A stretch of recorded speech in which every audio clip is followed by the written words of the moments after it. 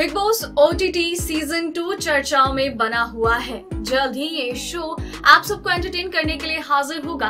लेकिन अब ऐसे में शो से जुड़ने वाले तीन सेलिब्रिटीज के नाम कंफर्म हो चुके हैं। जी हाँ पवित्र रिश्ता के महेश शेट्टी इस शो के लिए कंफर्म हो चुके हैं।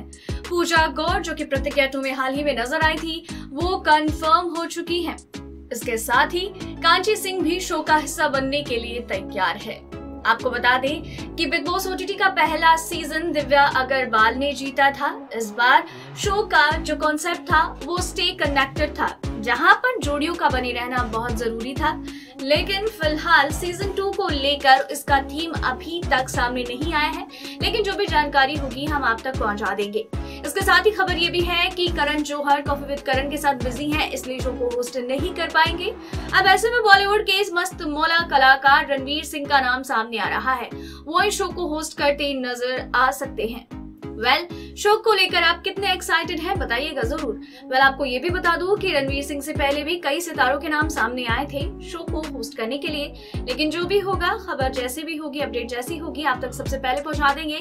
इसलिए चैनल को अभी सब्सक्राइब कीजिए और बेलाइकन को दबाइए ताकि आपको नोटिफिकेशन मिल जाए। धन्यवाद।